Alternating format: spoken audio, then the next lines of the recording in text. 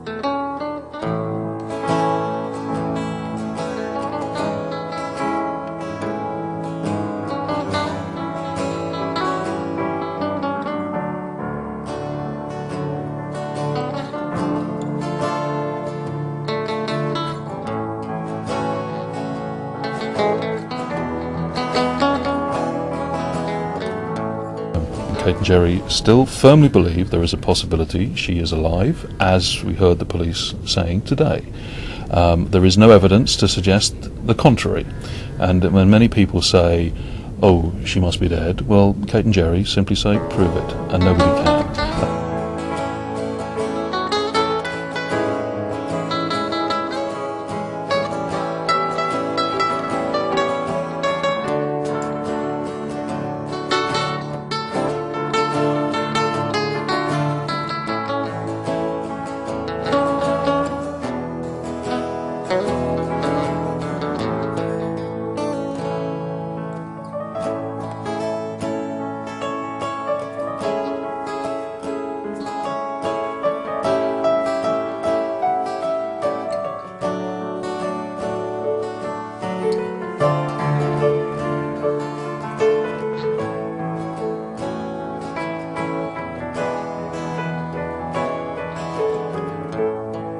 His name is Morse, and he and his handler Martin Grime work for the FBI. Morse, an English Springer Spaniel, is trained to detect the odor of human decomposition. And prosecutors say what Morse detected just a couple of days after Bianca Jones was reported kidnapped by her father is evidence that the toddler was killed. Grime testified that when police put Lane's car in a large warehouse of about 30 vehicles, the dog detected the odor of death on only one car. He went underneath the um, the Mercury, uh, Mr. Lane's car, um, and then came out and gave a bark response next to the car, um, which is a, a positive response.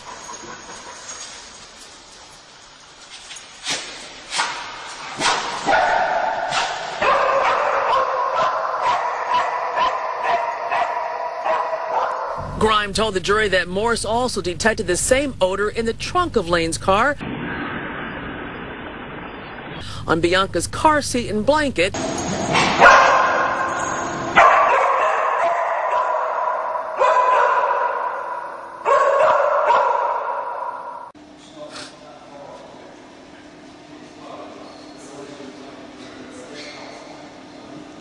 and in Lane's house on Mitchell Street.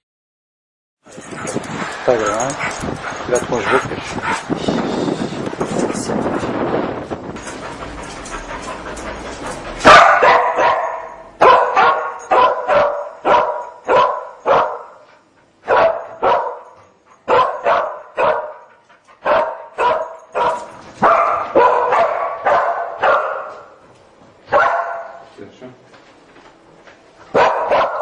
find the defendant, Dondre Lewis Lane, guilty. It turns out a dog is a key part of the prosecutor's case.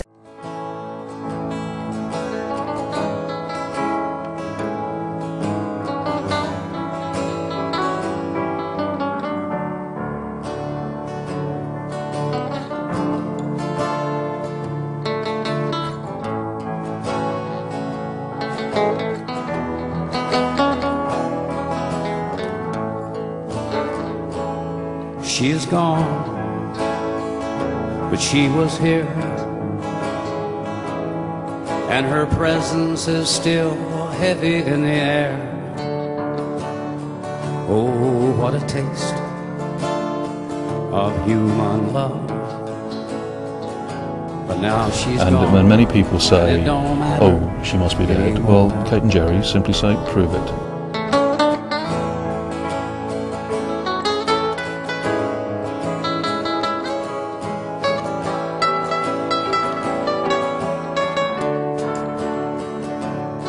Prosecutors say what Morse detected just a couple of days after Bianca Jones was reported kidnapped by her father is evidence that the toddler was killed.